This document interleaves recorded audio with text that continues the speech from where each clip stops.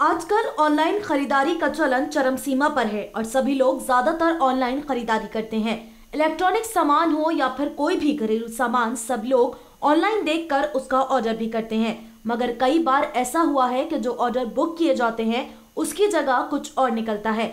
ऐसा ही एक मामला मुरादाबाद के थाना कटगढ़ क्षेत्र अंतर्गत मकबरा पुलिस चौकी के पास रहने वाले अब्दुल कादिर के सामने आया है। अब्दुल कादिर ने ऑनलाइन एक मोबाइल बुक कराया था और उसका इंतज़ार भी वह कर रहे थे।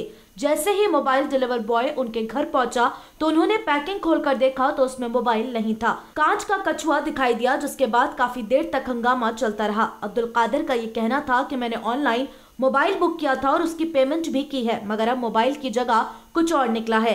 मेरी ये मांग है कि मेरे पैसे मुझे दिए जाएँ सिटी चैनल से बात करते हुए अब्दुल कादिर ने कहा। का सेकेंड हैंड मोबाइल ऑर्डर करा था। अच्छा। ठीक है? तो वो मोबाइल जो था मेरा लगभग एक बजे के टाइम मेरा पार्सल आया। अच्छा। तीन तीन चार दिन पहले। अच्छा।